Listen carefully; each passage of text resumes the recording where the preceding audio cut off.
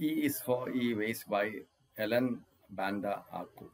So in this, we are going to understand what is e-waste. A very interesting uh, kind of a short story. Saku, even you can write an assignment about the ways to save the planet. That's what Mr. North, our class teacher, said to me as he handed out the homework assignment to the class. Imagine that. He said, Saku, even you, which suggested that even a dimwit like me can write an assignment on ways to save our planet. Now, the whole class knows Mr. North and his smart mouth. We know he says things to provoke us to provide him, prove him wrong. So I really shouldn't have minded what he said, but I did. You see, Mr. North said in front of Tasha, she's a new girl in my class with dimpled cheeks and busy eyebrows. Ever since she walked into our classroom and Mr. North introduced her to us, Tasha's face has stuck in my mind. Her face has stuck in my head like the pink bubble gum sticks in the pocket of my school trousers. Twice I tried to speak to Tasha, but both times my words got lost somewhere between my head and my mouth, so I ended up gaping at her like a fish. And when I gaped at her, she looked at me as if I was indeed a dimwit. So that is why I was determined to write the best assignment in my class. I had to show Tasha how clever I really was. So here we find a character is Saku Sagu, and um, and uh, there is another character called Tasha. So the teacher feels that uh, Saku is is a is a dumb fellow, who's an idiot or who is not a good for anything, but he feels that even he can write an article or an assignment on the topic E uh, of, of uh, uh, I mean about uh, how to ways to save the planet. So he, even Saku, uh, an Nimwit can write an article about how to save the planet. So Saku wants uh, actually Mr. North the, is trying to convince or say that certain things to him, but um, uh, but the real thing is that um, he wants to kind of please Tasha because Tasha is a beautiful girl and he wants to show off before her that he is capable of doing things. So he wants to actually do something good. Okay, so twice he had tried to speak to Tasha, but both times my words got lost somewhere between my head and my mouth. So I ended up gaping at her like a fish. So he failed to talk to Tasha, but now he has got a good chance. So when I got home from school, I sat in the shade of an avocado tree that stands right next to our house. It stands so close to our house that sometimes I can pick an avocado by stretching my arms out through the dining room window. Imagine that cool, isn't it? Being able to pick a fruit from a tree while standing inside the house. Ma doesn't think it's cool. She says the tree is too close to the house, and one day its big roots will lift our house out of the ground. Either that or the tree will fall and smash our house flat to the ground. Dad says mom worries too much. He says it's such a harmless tree. So this is about a beautiful avocado tree. So the avocado tree is quite near the house. So he can stand inside the house and pick an avocado from the tree. It's very close. But now what happens is that his mother is saying that avocado tree has to be cut down because it is very dangerous. Its roots can enter the house. Its root can uplift the uh, ground and swell the ground and make the wall fall. So she is afraid. But uh, my father says it is okay because the mother worries too much. I know, ma and dad are both right. Mom worries too much, and dad says that avocado tree is harmless because he doesn't want the hassle of having to cut the tree down, which is what ma has been trying to get him to do for years now. So mother wants the tree down, but dad is not uh, willing because he he can't bother about going finding somebody to cut the tree down. So it is going to be big trouble for him. So he's not willing to cut the tree down. So mother has been behind him. Come on, cut the tree. Anyway, I got home from school and sat under the tree with my book open on my lap and started thinking about the various ways to save our planet. Mr. North had said we could be as creative as possible in ISA. So anyway, I got home from school and sat under the tree with my book open on my lap, started thinking about the various ways to save our planet. So how to save a planet? He sat under the avocado tree and started thinking. So the tree itself is symbolic. Tree itself is facing a great threat because it will be cut down any moment. So Mr. North had said we could ask, be as creative as possible in ISA. So he's going to be very creative. I started by writing a title, Ways to Save a Planet Earth. After the title, I got a bit stuck. So after writing the title, he got stuck. I know a lot about recycling and reusing to save the plant's natural resources, but I struggled to put my thoughts into words. For example, I know that the water we use to wash food can be recycled by using it for to water plants. So there are different ways to save nature. We can recycle, we can recycle, we can use the water that we waste it. So lots of water we Malayalis waste. So we can use that water to actually water plant or do something else. Or the water we use to rinse clothes can be used to wash a car. We can also save water by fixing leaking pipes, which is very common everywhere. Leaking pipes from through which lots of water is lost, and we can have save energy by switching off lights when it's not in use. Taking our old shopping bag to grocer store instead of using new plastic bags also helps save the environment because plastics bag do not decompose naturally. So the less we use, the better. So now we, we are given lots of options to save nature. It's not a big thing. You can save it quite easily by just taking some cloth bag to the supermarket, uh, recycling the water that you are using. Simple process can save nature by not throwing batteries on the ground, not bursting tubulites on the ground. All these things can save nature.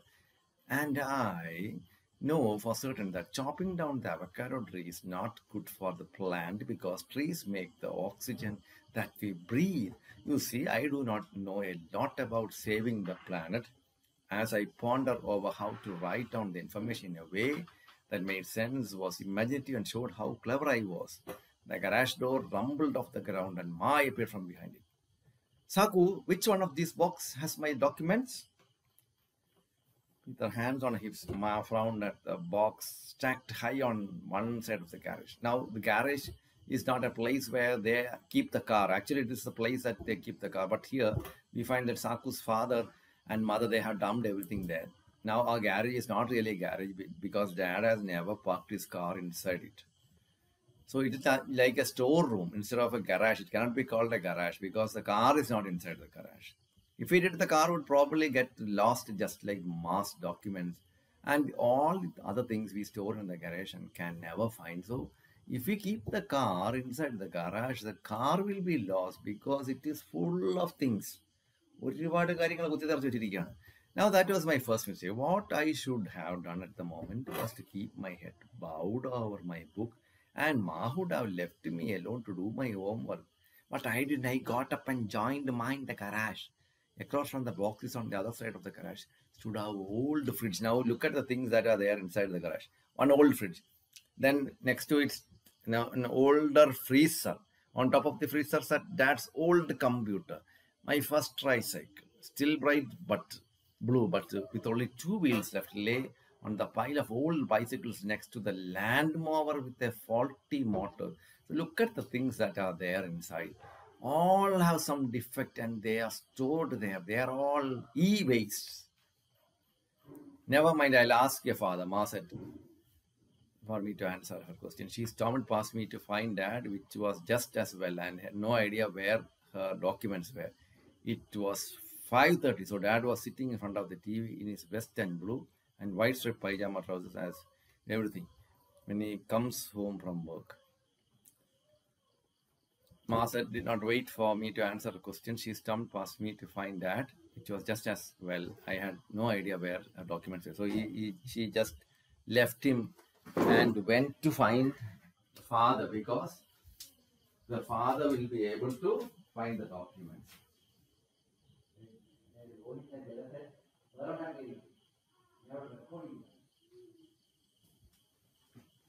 So, uh, so dad, she went after dad to find what is happening. It was 5.30, so dad was sitting in front of the TV in his vest and blue, white pajama trousers as he does every day when he comes home from work. So he's taking rest, but now the mother is going to jump at him.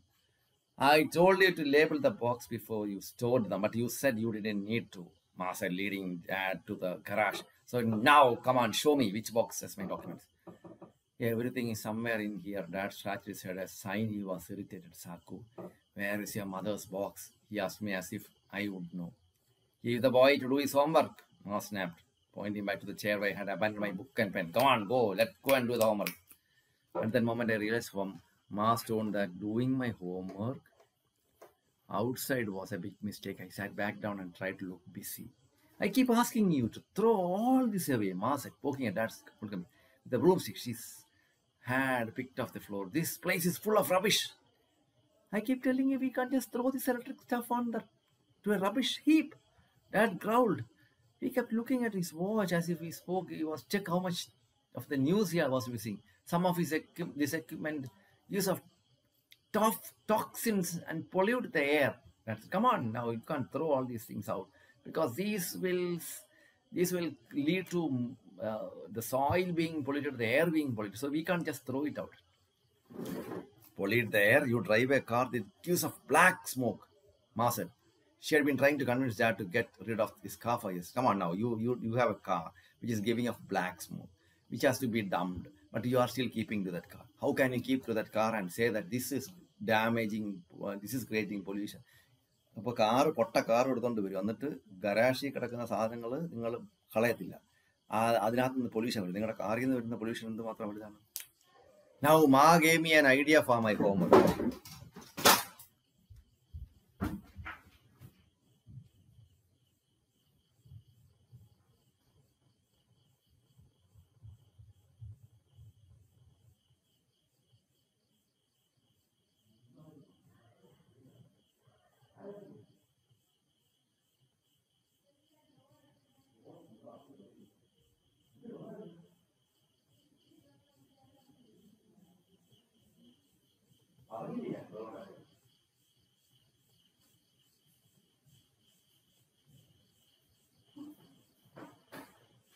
Ma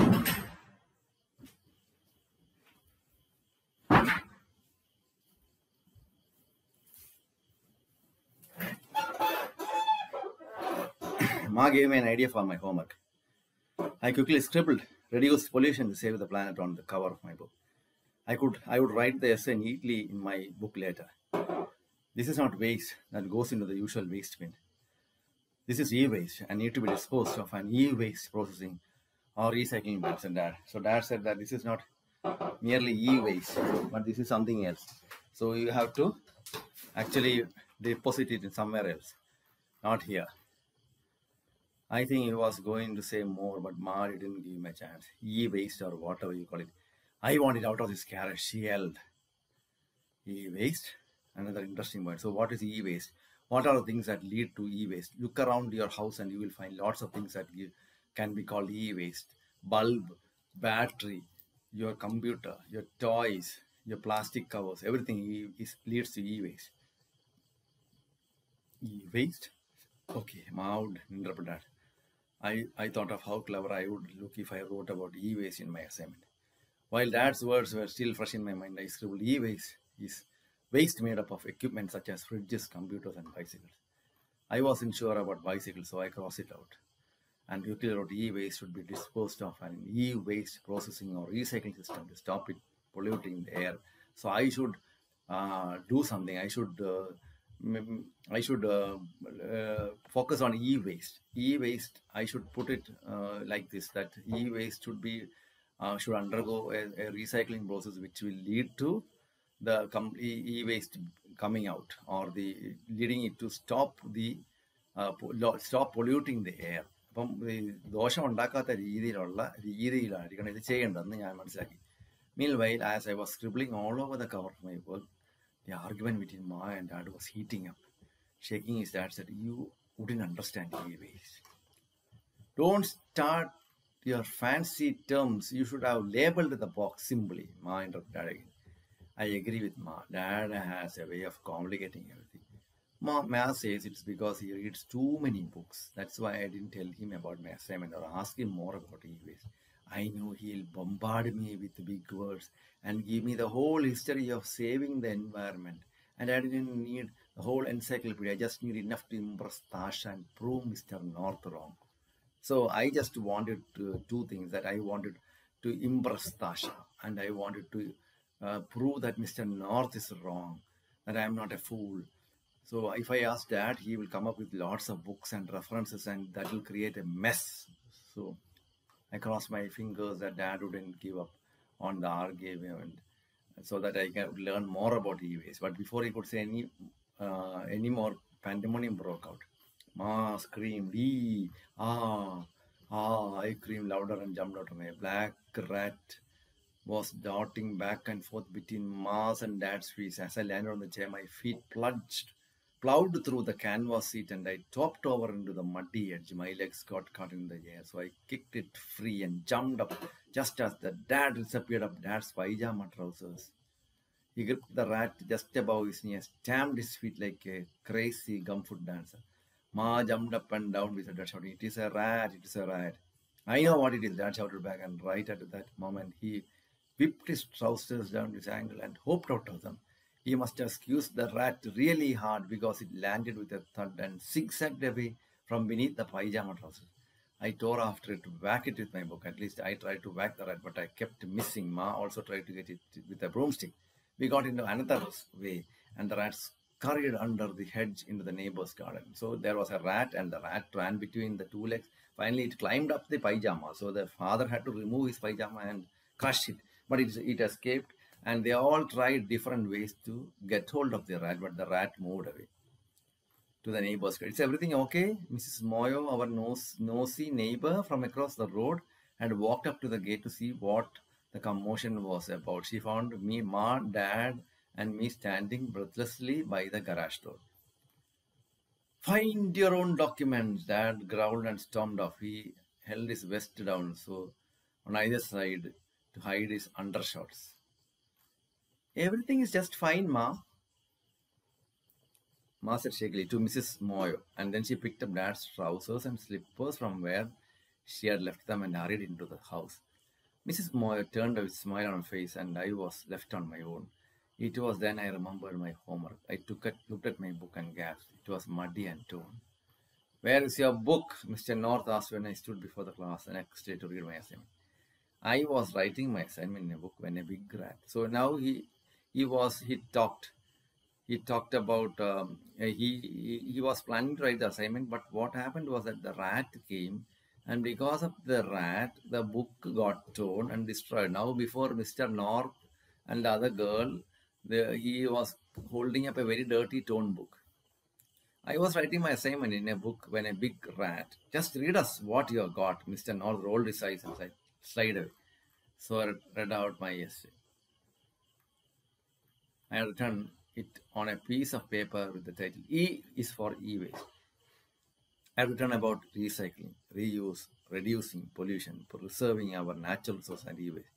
When I finished, everyone clapped, including Tasha. Even Mr. North smiled, an indication that I have proven him wrong by writing a very good essay about ways to save our environment. He was particularly impressed that I had written about e-waste something he had not taught us about in the class. So now he was able to make an impression because he had written in a piece of paper about e-waste, about the waste, control e-waste by recycling, reusing, reducing pollution, preserving our natural and e-waste. Okay, Saku has put uh, more effort into his essay by raising subjects you have not learned in the class, Mr. North said proudly. And just when I thought that I proved that I was a dim someone in the class, what does the E in the E way stand for? അപ്പോൾ പെട്ടെന്ന് ഒരു ചോദ്യം വന്നു E in the E waste എന്തുവാ The class went dead quiet as everyone waited for me to answer. I gulped as I had no idea. Then a voice came from the back. It was Tasha's voice.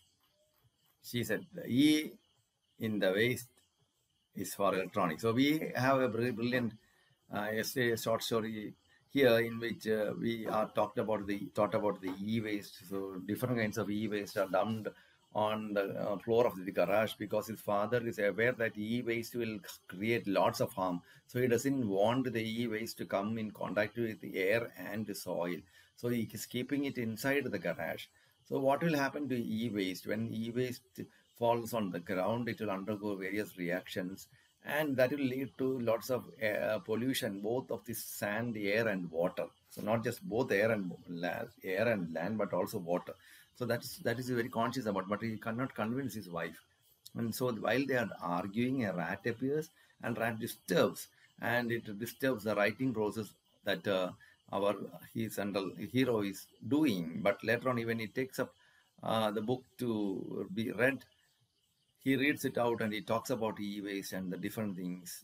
And he everybody praises him, and Mr. North is very happy. Then suddenly, uh, there's a question: What is e in the e-waste? And he's not able to answer it. But the, somehow, luckily, there was this girl who stood up and said, uh, the, the e, she said that e in is um, the waste for electronics, uh, electronics. So electronics waste. So when you think of electronic waste, you have to uh, think actually about things. So white goods, heavy consumer goods such as refrigerators and air conditioners, usually white in color.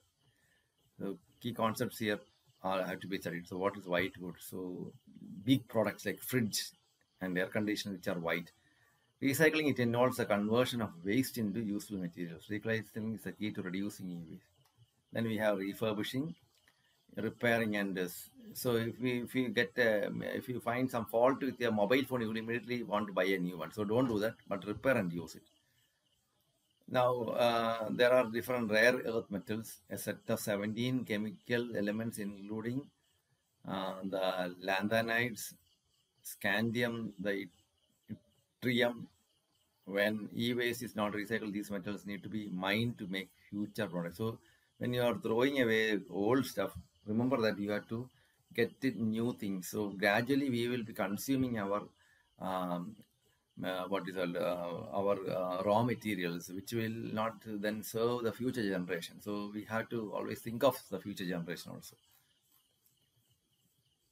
So what is the Basel Convention? An agreement on the control of transboundary movement of hazardous waste designed to prevent the transfer of hazardous waste from developed to less developed countries. So the hazardous waste will be dumped. So e-waste dumping is a process that developed nations do. So they will collect all their used computers and will ship it to uh, poor countries. So poor country will get computer and they are serving the poor people. So that is what is made to believe. But actually it is a kind of dumping or waste being dumped from one country to the other so that their country will be free. But gradually man has to understand one thing that man, Ekaiva Manishajati or humanity is one. You cannot escape. So whatever you do, it will come back to you. So that, that is a message that we have to understand and learn. So this is this this is the um, uh, uh, ecospace uh, that uh, E is for e-waste. It's a very important piece of work which you can which you have to study and read and understand.